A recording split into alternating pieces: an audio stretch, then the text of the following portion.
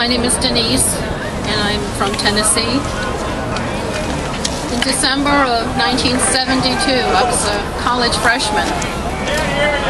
The debate over legalizing abortion was raging, and I only remember this because that month I had stood in front of my general studies class and made a presentation describing the horrors of the procedures and why it should not be made legal.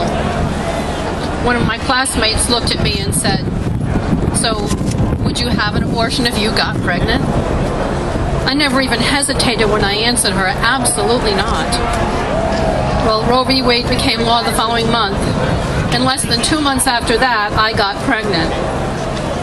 My firm resolve faded as I pondered what to do. I was more afraid of having my parents find out than I was of anything else. So I listened to the lie that an abortion would solve my problem and made arrangements to fly to New York to have it done. Abortions weren't even legally available in all states in 1973. How would I hide all of this from my parents? It was no easy task, but with the help of some friends, I managed to make up a whole pack of lies to cover the biggest lie of all. As difficult as going through the procedure itself was, and it was agonizingly painful, it was nothing compared to the years of depression, regret, and relationship problems that followed. Like those who have spoken before me, I never realized that the problems I had relating to children would go back to having aborted the one child I had. My first marriage failed.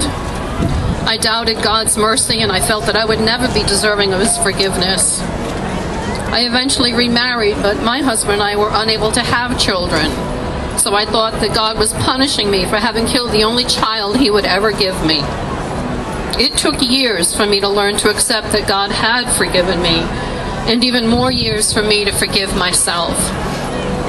27 years after my abortion, we were finally blessed with three children through social services. We were able to adopt them, and even though we deal with residual issues from their younger childhood, they are truly blessing us and teaching us about God's forgiving love every day. Our church has a memorial to the unborn. I purchased a brick and had it engraved with the name I had chosen for my baby, Jamie, which is French for I love, and the date, 1973. I visited often and I promised Jamie that someday she will meet her brothers and sister. And I tell her that I'm sorry I never gave her a chance to be born. I'd kept her story hidden deeply within me for so long, but I can be silent no more.